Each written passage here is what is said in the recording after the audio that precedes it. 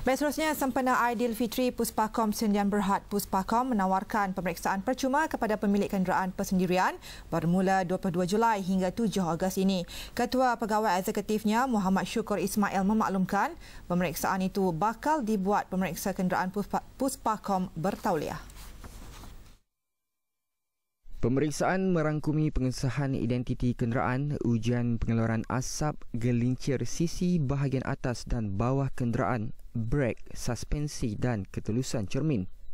Penawaran khidmat percuma itu adalah sebahagian tanggungjawab korporat Puspakom dalam usaha meningkatkan kesedaran orang ramai terhadap keselamatan kenderaan, terutama kepada pengguna yang mahu pulang ke kampung sempena musim perayaan. Pelanggan boleh menjalani pemeriksaan percuma itu di semua cawangan puspakom seluruh negara yang dibuka Isnin hingga Sabtu dari jam 8 pagi hingga 5 petang. Pelanggan yang hanya perlu menghubungi cawangan yang ingin dikunjungi bagi membuat tempahan.